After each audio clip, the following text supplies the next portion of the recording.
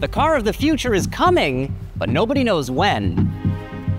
It could arrive next month, next year, in the next decade, or even on Tuesday.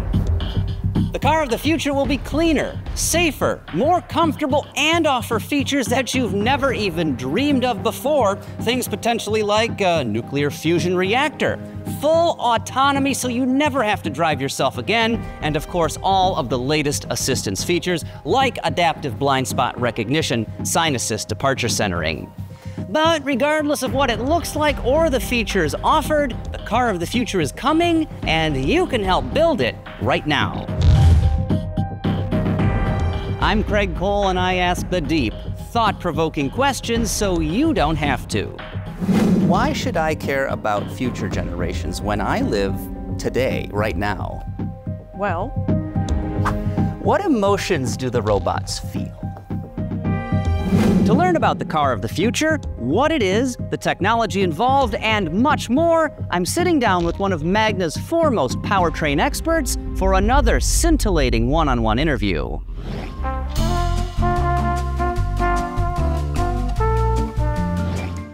Now, I've never done this before in one of these little interview videos, but to be fair, I've never sat down with a celebrity. So I was just curious if I hand that to you right here, would you be so kind as to put your autograph on here, ah, William? William William Frawley. Frawley?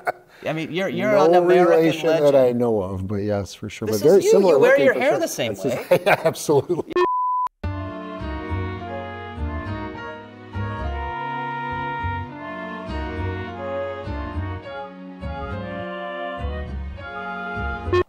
Ron Frawley, not unfortunately William Frawley, who is, to be fair, much more interesting. Um, we're here to talk about the car of the future, not America's favorite television show, but um, give people a general idea of who you are, what you've done. Sure, Craig. So I actually I started the industry in the powertrain space more than 40 years ago. Uh, started a company, General Motors, in 1982. I've heard of them. Uh, yes, absolutely. Um, I've worked on really every possible powertrain system that you can think of, uh, from manual transmissions all the way through to complete propulsion systems for battery electric vehicles. But what's happening now is really incredible, even compared to that, and, and it's really an exciting time to be in the powertrain. But the car of the future, what is it? When will it arrive? I can pencil it in for next week if you think that's coming. Probably a little soon. Um, I would say it's about developing and bringing to market technologies that make the car safer, cleaner, more sustainable, more comfortable for the for the operator, for the user, basically. That's all very boring. What about excitement? Yeah. So from an excitement standpoint, certainly drivability and performance are part of that. I would say for sure, no question about it. I I think we believe the car of the future will be electric. It will be autonomous.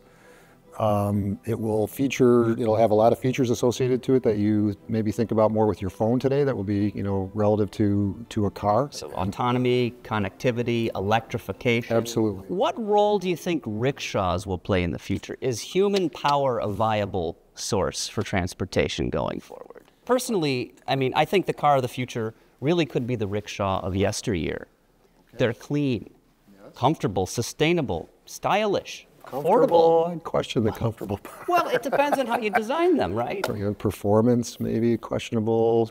Sustainable for sure. Are they autonomous? Probably not. Or, And no computer chips needed. Think about that. I've, I've thought long and hard about it. And I think it's a great idea because it is. Um, what electrification technologies does Magna currently offer? Do you guys do hybrid systems, electric motors, inverters, double A batteries perhaps? Everybody needs a double A now and then. start on the tail end and say uh, we don't produce or design AA batteries, but in terms it. of Your sales will go up. in terms of electrification of powertrains, we absolutely provide every possible alternative there is that's out there. One thing that a lot of people do not know, maybe don't know about Magna, is that we've been producing electric powertrain systems for more than a decade. Uh, we produced, we designed and produced the entire electric propulsion system for the Ford Focus battery electric vehicle. That went into production in 2012. We have a lot of extensive- learnings from that A lot of learnings from that, and that was forward. 10 years ago. So we've had lots of experience on many, many programs of different powertrain configurations that use electrification technology. And How far has the technology advanced from that Focus EV up until today? Very- It's a relatively short amount of time. yeah, I would say very significantly for sure. So a lot of the focus in the advancement in technologies area is on, is on efficiency improvements because when you talk about an electric vehicle, in the end, it's a lot of it is about efficiency, which translates to range, right? How far can I drive my electric car? On the other side, if you can use that extended efficiency to reduce battery capacity, then you can you can reduce the weight of the vehicle, reduce the cost of the vehicle, and that's the other area beyond efficiency. I would say cost, because it's important to keep these systems at a level that they're affordable for the consumers. Because we we want to sell products, we want to put products in the market, right?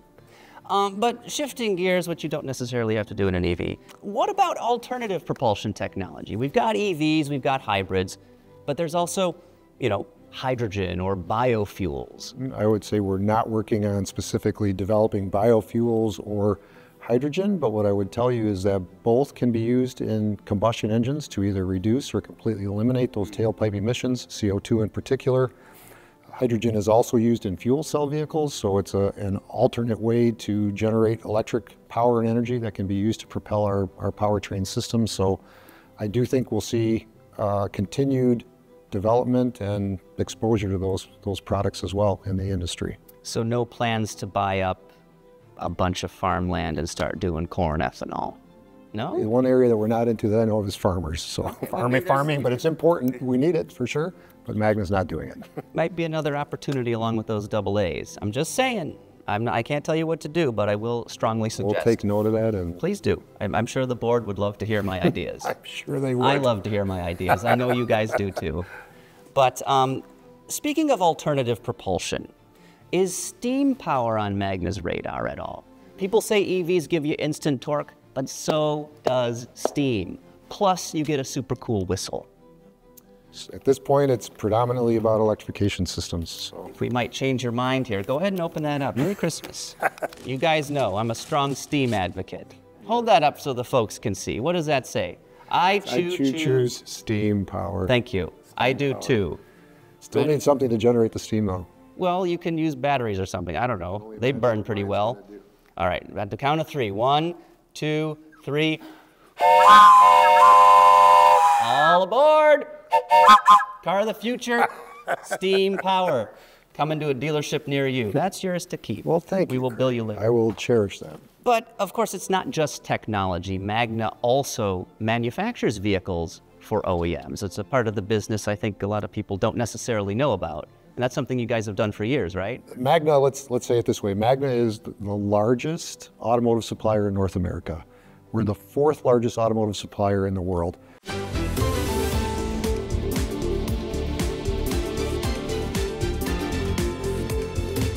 We design and manufacture just about every subsystem that goes into a vehicle. And as you mentioned, we also assemble vehicles for our OEM customers. I think that level of knowledge, experience, information helps us to optimize systems across the company. Mm-hmm. So I, I believe that gives us a competitive advantage in the marketplace when we start to talk about an optimized powertrain system. I think we can do things that other companies cannot do because of the inherent knowledge that exists in the company and the fact that we can and do work together. I mean, so if you want to start your own car company, make sure you contact Magna today for all of your contract manufacturing needs. In fact, I'm in discussions right now to get my own rickshaw design mass produced. Very I think it's going to come out of Graz in Austria there. What are the challenges in building a car of the future? OEMs, I imagine they always want differentiation, right? They don't want their product to be the same as what their competitors are offering. I would say that powertrain electrification specifically does offer them the ability to differentiate. So, because of the controllability of that powertrain system, they can use it to enhance brand image, or even even in the same company to have two different brands or two different models or name badges on a car uh, that perform differently just by controlling that electric propulsion system differently. So, I think it gives them a greater degree of flexibility you, you can use software with internal combustion engine vehicles, but you don't have the same level of control. You know, in an electric motor, it's a much more controllable product than, than, a, than a, a combustion engine is. What factors might you adjust with a, an electric powertrain? Current, voltage, you know, those are things that you can, you can directly play with, obviously. Um, you can use torque vectoring systems. There's different things that you can do uh, with the propulsion system to really enhance, as I said, both safety and driving experience overall and comfort. Mm-hmm. I, I have also noticed on our backdrop here, it says Magna, forward for all. Yes. That's a very optimistic slogan. But what if you have to reverse? Do you have to go to another supplier for that?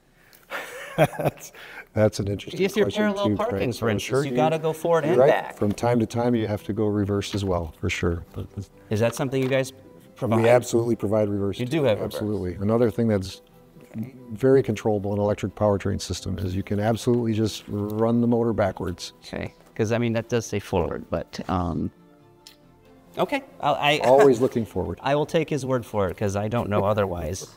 Um, you've spent your life working in powertrains. There are other divisions at Magna, though. What are some of those divisions, and why is powertrain the best one?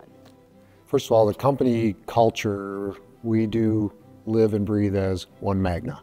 But within the one Magna culture, there are different groups and divisions. As you said, Magna, beyond powertrain, there's there's seating, there's electronics, there's ex- exteriors, there's engineering services, there's the car building, there's frames, there's all kinds of divisions within the Magna organization. Um, and, and we each have our own place in the car, if I say it that way. Um, I think we also see each other in a competitive way. I mean, I, personally, after 40 years in the powertrain space, I, I have a lot of reason to feel that powertrain is the space to be in. I do think uh, powertrain products touch on every aspect of engineering and manufacturing that you could possibly imagine. I think the technology is incredible. I think the technology development that we're doing is incredible, and I think culture is awesome. The people are awesome. Uh, the, Well, some of the the business is awesome. I would, I would say, from my experience, all the people. Yes, Okay, that's a very diplomatic answer. we'll, we'll cut very that out. true. Um, what sort of careers are there in building the car of the future, and what kind of people is Magna going to need to do that? I think in the environment that we work in, you need people with all kinds of educational and experience backgrounds. Um, I'm an engineer by experience. Uh, to bring a product like this to market, to bring car systems, powertrain systems to market, you, of course you need product engineering, but you need product development, you need manufacturing engineering, you need program management, IT, supply chain management, sustainability, logistics. You need skilled machine operators, you need people that can maintain equipment. So it's, as I said, really touches on all, I think, all aspects and backgrounds of experience and capability that Um, can you make a good living working at a supplier like Magna? Magna as a company has a corporate, you know, corporate charter and culture, and for sure remaining competitive in the marketplace means you have to be competitive with, with wages and benefits for your employees as well. So it's a great place to work. As you said, I've, I've been with Magna for 20 years now, and I found it to be a great company to work for. That's at least two decades. So they keep It's you exactly two decades. They keep you coming back for more every Yes, day. they do. Wow. Um, if you do get your foot in the door at Magna, get hired here, does the company offer any programs to help perhaps with additional education if you want to go and get, say, a master's degree or something? Absolutely. There's tuition assistance programs. There's a, I would say there's also a broad range of internal uh, training programs that, that Magna offers to the employees too. Right, you know, right here in the facility that you work in and right within the company. Perhaps this isn't the right term, but on the job training. So if you're in one department and you want an opportunity elsewhere, Sure. you can get the, the skills you need to do that job. Other thing about the beauty of Magna, as I said, there's when you look at all the different divisions and the number of people that work here. If I want to go work in the seating group or whatever, there's there's opportunities to move around within the company as well. So So your degree is in mechanical engineering, I think you said, right? that's right, Craig. I went to Lawrence Technological University. So you must be pretty good at math. I would say all my life I've been very good at math. Yes. Well, that's convenient because I have some calculus problems here I was having a real hard time with. I don't know if, if you could just answer those for me. Uh, Show your work, please. We need to know that you didn't just use AI to figure that out. definitely takes me back. I'll be sure to engage one of our interns. We do hire a number of college interns here, which mm-hmm. benefits them as a student and benefits us as a company as well. I will find a math major. I will get this question answered and be happy to bring it back to you. Anyway, William, I'm sorry, Ron, thank you so much for sitting down and talking about electrification as it applies to the car of the future. This was a lot of fun. Thank Although you, I am a little bit disappointed we couldn't get this sign. Yes.